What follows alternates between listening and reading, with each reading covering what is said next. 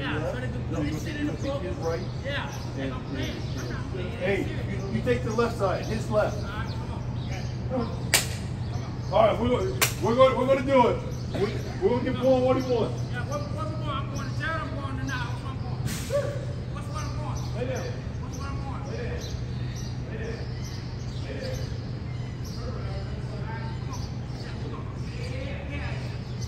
I really hope it's not this. Really hope that. Huh? Really? What? Supposedly that's a bottle of piss Where? that he just threw against the wall. Hey. Maybe this one is possibly a bottle of piss that was thrown against the wall by uh,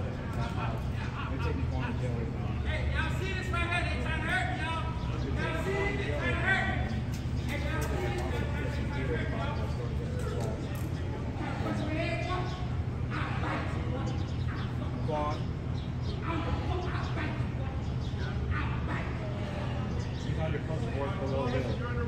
Man, I don't give a damn. I don't give a fuck right now. And guess what? And guess what? I'm going right. Hell yeah. Yeah. Fuck. All right. Now I'm gonna have. Fuck, fuck. I'll bust your ass.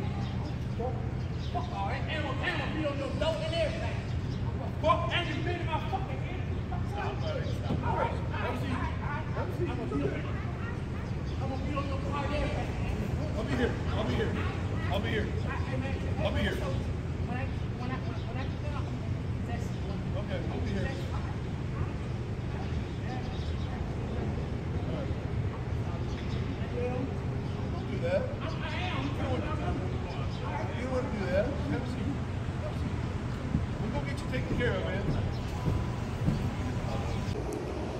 All right, so what you just saw is a daily occurrence down here in fantastic Ybor City, just outside of Tampa.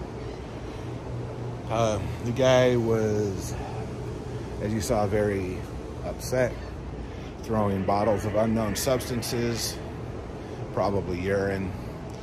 As you see, the police uh, were very calm, organized, took very good care of the guy, and he started resisting, trying to make it, uh, you know, a social media event.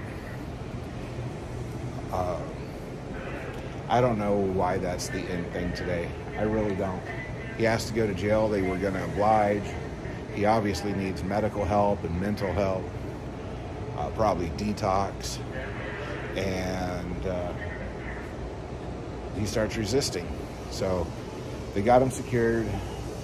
They've got him in the vehicle. And then once he was in the vehicle, um, he started bashing his head against the cage.